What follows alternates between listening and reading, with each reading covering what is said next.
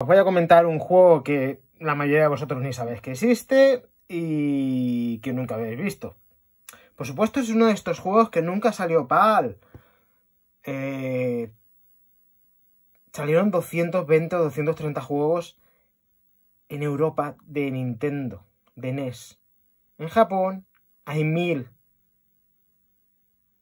Te faltan 800 juegos, más todos los de Famicom Disc que llegaron aquí con el sonido capado, porque llegaron a USA con el sonido capado. Aquí nos llegaron con el sonido capado y encima con la velocidad de música lenta y márgenes negros. Hablamos de un tal Zelda 1, de un tal Zelda 2, de un tal Metroid 1, de un tal Metroid 2, hablamos de un Super Mario Bros. 2 que nunca visteis aquí, porque el de Super no tiene nada que ver con el original de Famicom Disc. Todo eso para después escuchar aquí a cuatro soltando tonterías de la NES. Mi NES, mi NES. ¿Pero tu NES de qué? O sea, hasta cuando una compañía guarra de tres personas en Europa quería hacer un juego tenía que contactar con Nintendo. Nintendo daba el visto bueno. Y el juego se fabricaba al 100% en Japón y luego se enviaba al país de Europa que tocaba. Pero la fabricación era 100% japonesa. ¿Qué chorradas lleváis hablando desde hace 30 años con Lopal, tío? Es que parece, parece, toda esta gente que habla de estas cosas parece que tenga 15 años mentales. En fin, esto es un juego que nunca sabéis, sabéis la inmensa mayoría de aquí que existe, no sabéis de qué va. Todavía sabéis menos que esto es un juego que estaba para PC 88 originariamente, que después tuvo un port para eh, MSX. Siempre que hay un port de PC 88 a MSX siempre es peor. Eh, al menos en la época, a partir del 85, eh, estamos hablando de PCs 88 ya, versiones a 8 MHz, con MSX que serían con la CPU de mierda a 3 y pico. Entonces, no, no, por lógica, salían peor en, MSX, además siendo un port. En todo caso, eh, de PC88, no sé si PC98 tenía, el de PC88 y el de MSX es un juego de fotos. Pero este no. Esto es un juego de naves. Es un juego de naves de Famicom Disc que solo está en Famicom Disc dentro de los 200 juegos de Famicom Disc que aquí nadie tiene. Y que aquí apenas nadie conoce y se compran los disquitos pelados para hacer la gracia como si supieran qué coño tienen.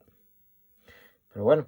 Esto además viene... ¿De dónde viene Galforce? Eh, ¿Esto es alguna cosa inventada tal y cual? No. Esto básicamente es esto. Esto es eh, la típica Bulleuon Crisis, por, eh, por, para si a alguno les suena.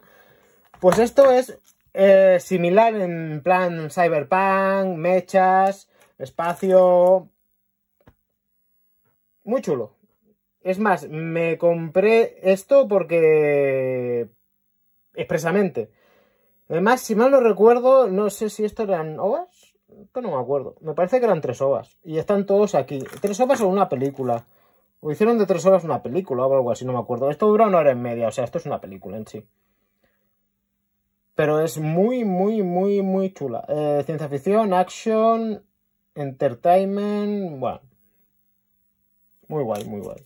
Pues este no es un Laserdisc que me encontraba por Japón a dos duros que compraba a saco como parece que hace todo el mundo aquí que solo va a Japón a buscar mierda. No, esto lo busqué y lo compré, porque me encantó.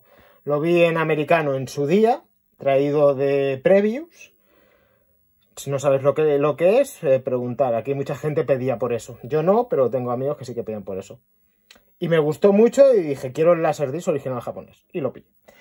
Y también, como me hacía gracia, pues también he querido pillar el juego de Famicom Disc Juego que aquí, eh, de todos los seguidores estos que tanto saben de Nintendo y tal, ¿cuántos de ellos conocen este juego?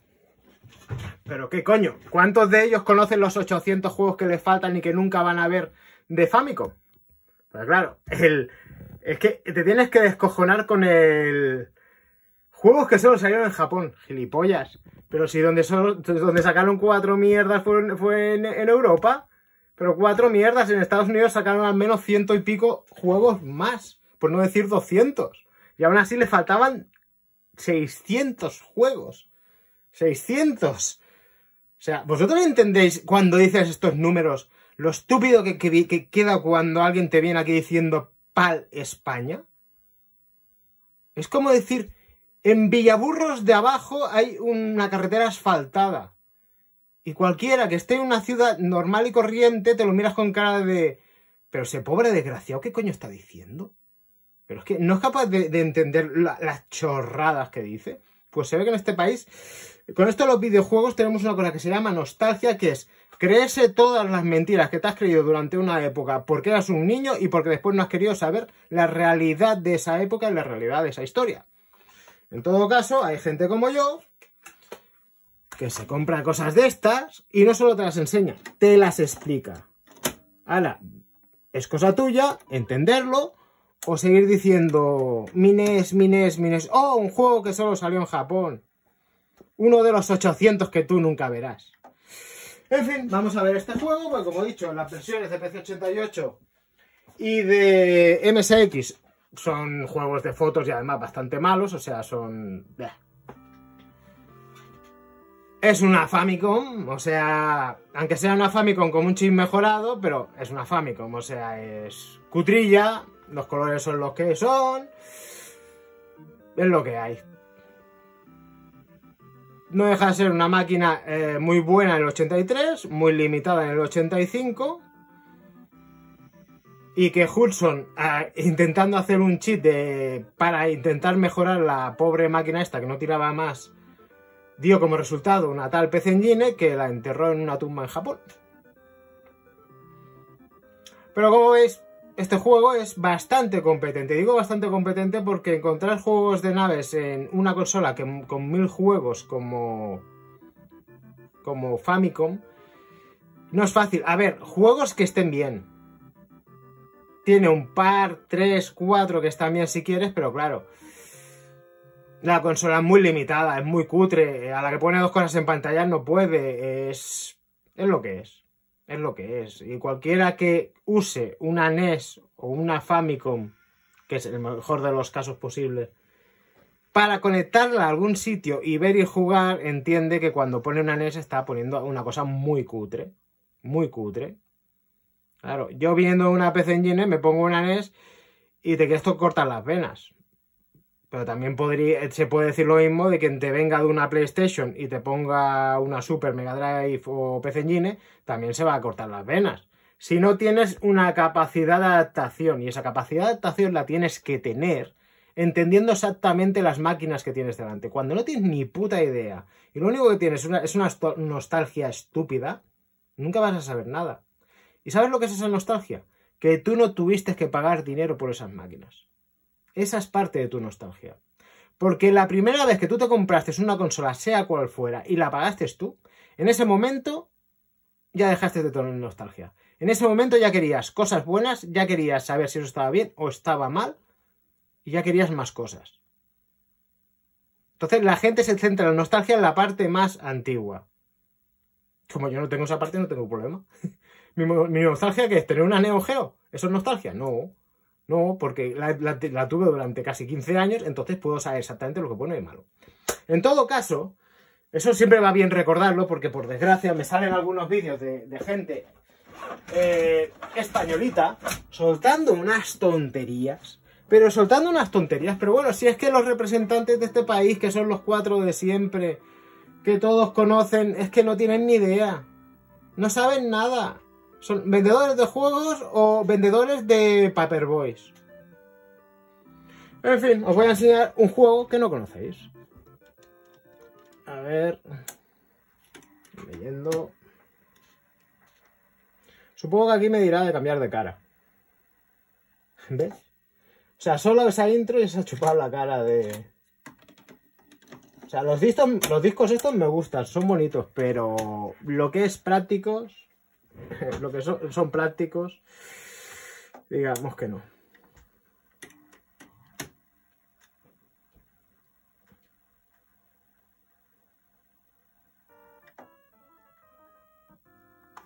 Nave grandecita. Ya está funcionando ¿eh? el juego. Claro. Cuando te sale alguien y te dice, alguien que, te tienes que reír, dice, no, es que una PC Engine es un poco mejor que una... Un poco. Mejor que una Famicom.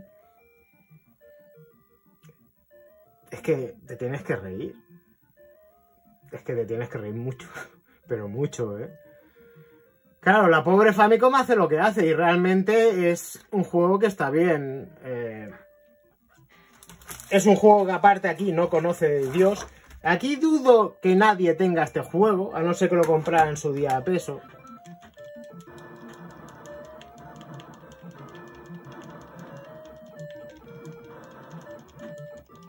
Tienes tres colores para la pantalla, no tienes más.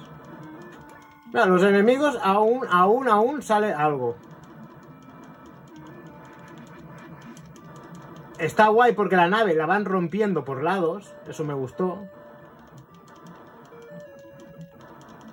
Pero claro, mmm, tienen la, tienen la máquina que tienes. O sea...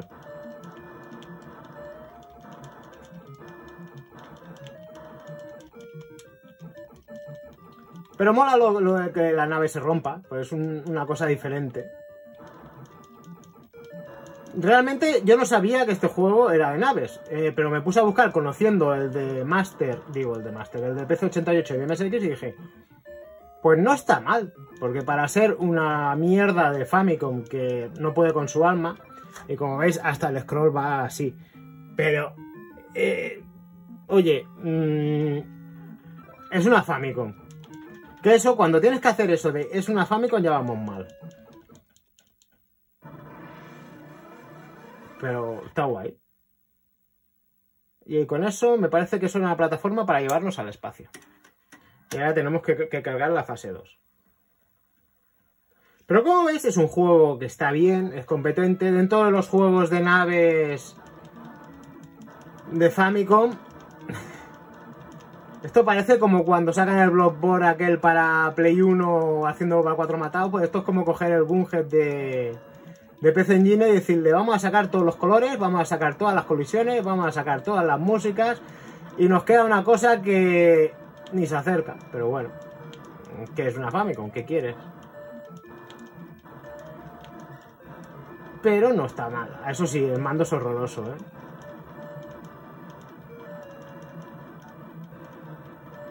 Tampoco sabes muy bien si te da algo, no sabes cuándo te da, cuándo te deja de dar. Una de, las cosas más difíciles que tuvieron que lidiar las 16 bits es que parece una tontería y mucha gente no lo tiene en cuenta, pero es el, las colisiones. Cuando tienes que, lidiar con unas colisiones perfectas que tú sabes que en ese momento te van a tocar 100%, tienes algo muy complicado entre manos. Y no es nada fácil hacer un juego con unas colisiones muy bien hechas. Y eso se alcanzó en 16 bits. En 8 tenemos un problema para hacer eso. Pero es un juego que sale enemigos, eh, tienes tres colores, pero bueno, es que no tienes más. Es un juego de Famicom. Simplón, lento, pero dentro de Famicom es de lo más decente. Por ejemplo, mira, el jefe final está bien. Aparte tiene animaciones, o sea... Porque si te empiezas a poner juegos de Famicom de naves hacia arriba, es que tienes el de Recal de Compile y... y... No se te ocurra poner Kiwo Tiger ni nada por el estilo o te vas a cortar las venas. Que además esto no tiene armas. Bueno, esto es...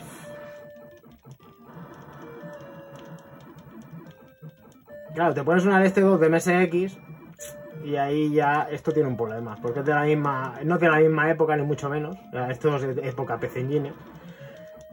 Pero bueno, al menos ya es un juego con cara y ojos. Esto también, pero esto es cara y ojos dentro de, lo que es una, una Famicom, que es muy poquita cosa. Realmente la pobre es muy poca cosa. Eh, y aquí tienes el sonido mejorado. Pero es que es... Pero, oye, no es un juego, es un juego que está bien, o sea, para ser una Famicom está bien, pero es que es, una Famicom. O esto yo le pondría un 7 perfectamente. Ahora, me gustaría que tuviera alguna cosita más, no sé. Si tengo que repetir la fase no juego más. no, pero es un juego que no está mal. Que no está mal. Si entiendes que es una Famicom que igual esto, no sé ni cuándo salió esto. Esto igual te salió en la misma época que te salió la PC es posible, ¿eh? Ah, mira, eso son ampliaciones de disparo. Ah, están por el suelo.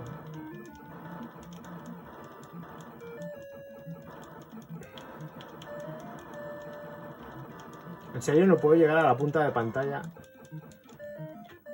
Uf, qué lenta que va la nave, tía.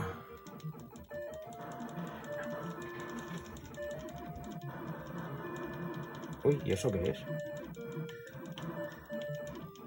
No sé si me está tocando, no sé si me- no me está tocando.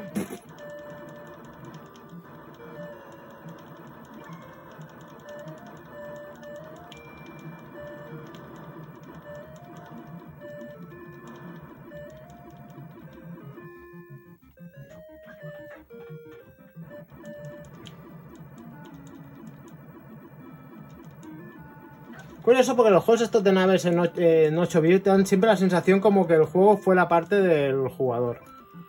Y también tiene un refresco un poco extraño.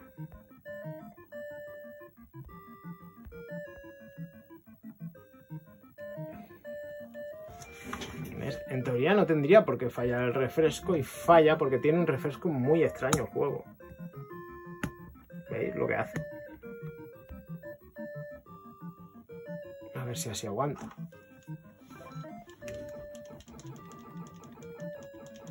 Aquí había tres lanzaderas. Si cojo otra lanzadera, voy a otro sitio.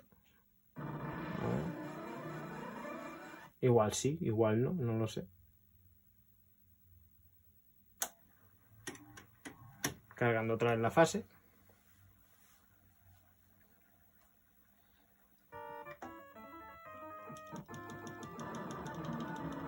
Sí, sí que parece diferente, ¿no?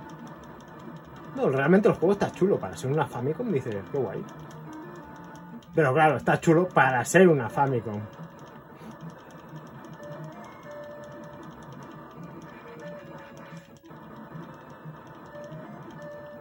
Y ahora he ampliado el disparo.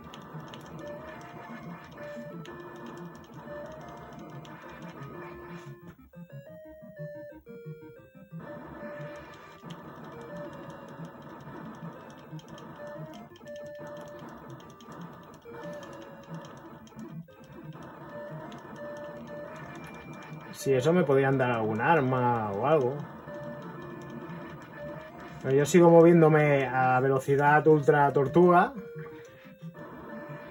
A ver, última vida, ¿no?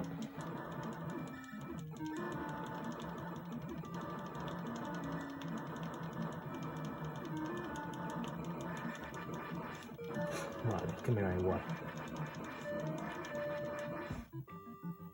Me parece que no me quedan vidas. Bueno, pues esto es lo que voy a enseñar. Es que un juego. Es que es un juego de Famicom. Eh, y dentro de Famicom, pues cosas que se tengan que mover rápido, cosas que vayan saliendo con en pantalla, pues es que te las cuento con una mano. Y esto es otra arma que nunca he visto.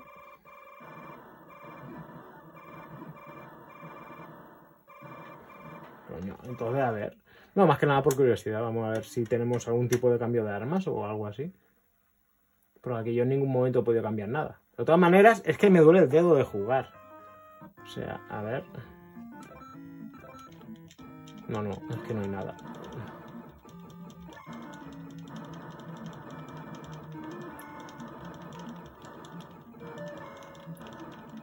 Ah, esto es velocidad.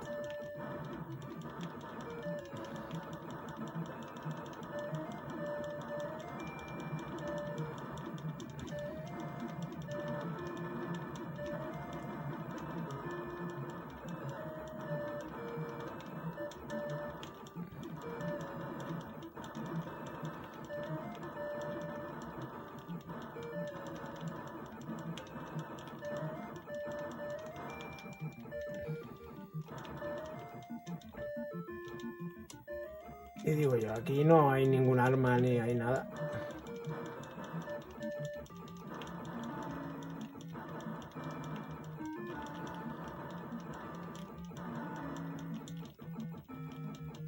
Nada.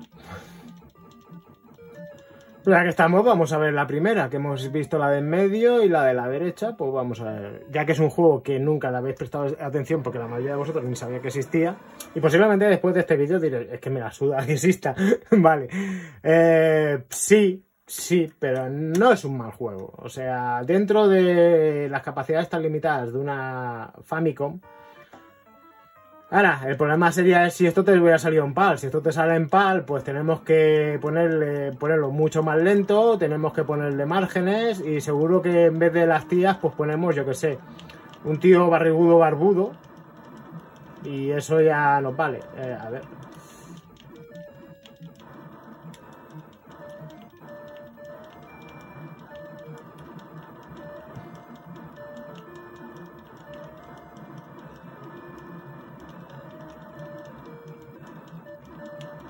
que aquí pretender esquivar nada, que es que ni ves cuando te dan ni cuando no te dan.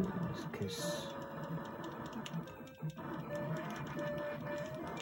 Bueno, ya estoy muertito.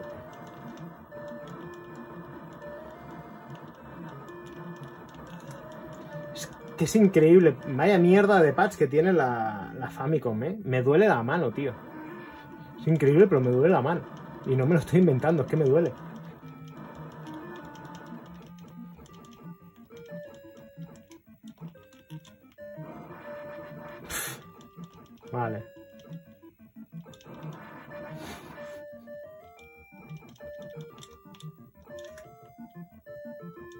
También pueden haber pensado que cuando te maten dejarte algún ítem para mejorar un poco la nave. No sé. Por ya que estamos, a intentar... Pero...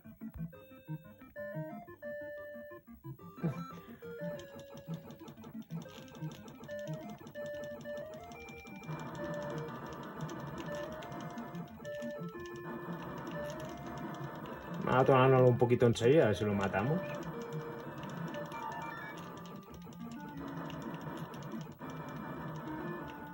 Hostia, es que con estos mandos no se puede jugar, ¿eh? Me está haciendo polvo la mano, tío. Me duele la mano. Me duele el pulgar de mover el, el pad de dirección. Hostia puta.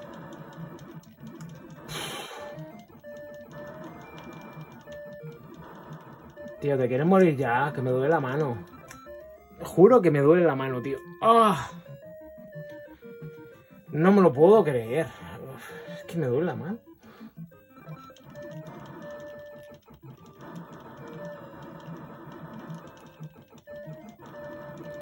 Bueno, al menos veremos la siguiente fase. Pero como digo, para ser Famicom, es un juego bastante competente. No sé. Espero que ahora no me hagan girar el disco para que para meter una foto. espero que no. Por estos son capaces.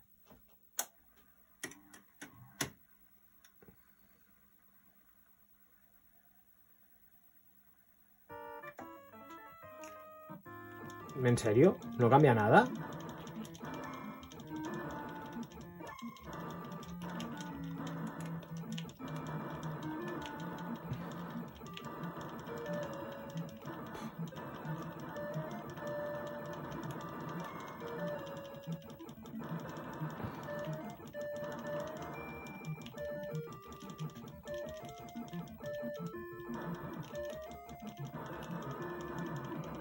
Me parece que se acaba la variedad del juego. Pero bueno, es que es, una Famicom, es que ¿qué quiere, chato? Es...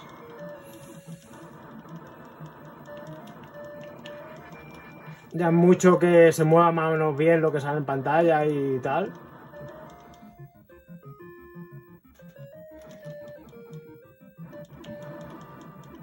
Pero es que la fase no es la misma, seguro.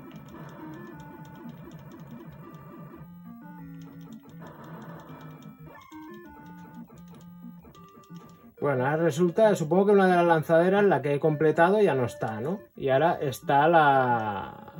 Bueno, vamos a cogerla de en medio. Esto tiene muy poquitas fases, ¿eh? ya se ve.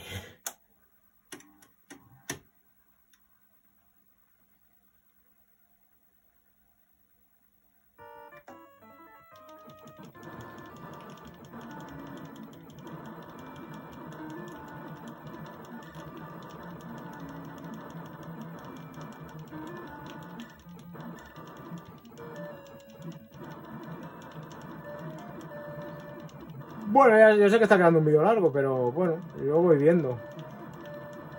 Eh, me parece que lo voy a... eh, más que nada tengo curiosidad de ver si el enemigo es el mismo. Porque claro, me han reciclado aquí de todo, de todo. O sea, es que no... Es duro jugar a juegos de Famicom, es duro, eh. O sea... mm, Viniendo de cosas netamente tan súper superiores a esto, ponerte esto, eh, vamos, te pones una este 2 de MSX y dices, bueno, mira, eh, está guay. Te pones esto y dices, para cuando ya tienes que decir, para ser, está bien, es que no está tan bien, pero bueno. Pero claro, después te empiezas a meter cosas de naves de, de Famicom y me, y me vas contando qué hay. Y como me salga alguno diciendo que si el Gradius o el Salamander, mm, me río en su cara, ¿eh? Mm, No es por nada, ¿eh?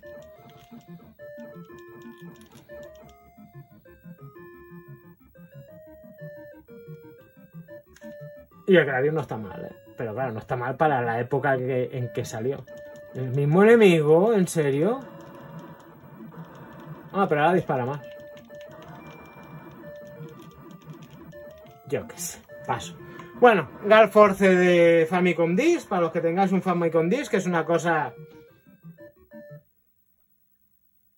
que está bien. Vamos a dejarlo en que está bien. Sin ser maravilloso, pero técnicamente para ser un juego de Famicom está relativamente aceptable. Vamos a dejarlo así. Vamos a dejarlo así.